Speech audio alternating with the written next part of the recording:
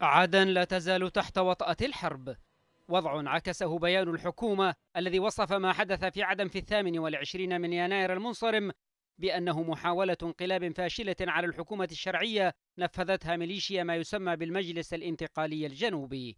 البيان الصادر عن وزارة الخارجية شدد على أن المحاولات المستمرة والحثيثة لإعاقة عمل الحكومة الشرعية وتعطيل مهامها والقيام بإنشاء وتوجيه ميليشيات عسكرية خارج إطار القيادة العسكرية للقوات المسلحة اليمنية.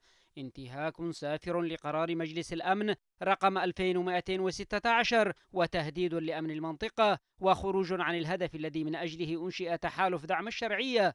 ويقوض جهود إنهاء الانقلاب الحوثي ويخدم أجندات أخرى تتعارض مع وحدة اليمن واستقراره وسلامة أراضيه ويضر بالمصلحة العليا لليمن.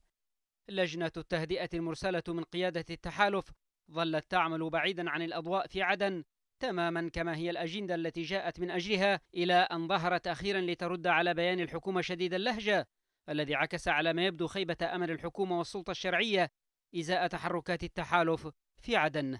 الضابطان السعودي والإماراتي تحدث في بيان مرتجل ومقتضب من مقر قيادة التحالف في عدن عن أن هدف التحالف هو ضمان أمن واستقرار اليمن.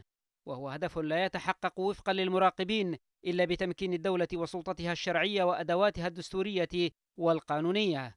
صحيفة الشرق الأوسط أوردت في تقرير لها ما وصفته بأنباء مسربة تتحدث عن أن قيادة ما يسمى المجلس الانتقالي لديها مرونة في مطلب إقالة الحكومة. لكنها متمسكة بحصولها على حصة ضمن قوامها الحالي. تابعنا باهتمام بالغ. يأتي ذلك في وقت أكدت فيه دولة الكويت العضو في التحالف على لسان نائب وزير الخارجية خالد الجار الله رفضها التطاول على المؤسسات الدستورية من القوى الخارجية عن الشرعية من القوى الخارجة عن الشرعية في اليمن. المحاولة الحثيثة من قبل التحالف لمنح المكاسب السياسية للطرف الذي أشعل الحرب ضد السلطة الشرعية. يراها المراقبون تكرارا حرفيا لسيناريو تمكين ميليشيا الحوثي الذي كرسها طرفا معنيا وشريكا بينما كانت تخوض حروبها ضد السلطة الشرعية التي انتهت بالسيطرة على الدولة وجر البلاد إلى حرب شاملة.